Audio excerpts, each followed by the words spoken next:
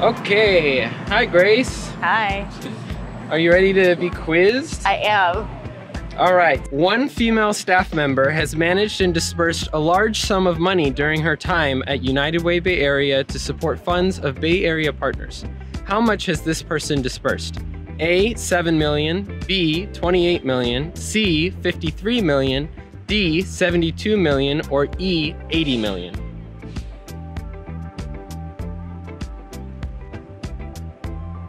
C. Correct. 72 million. Oh, I was wrong.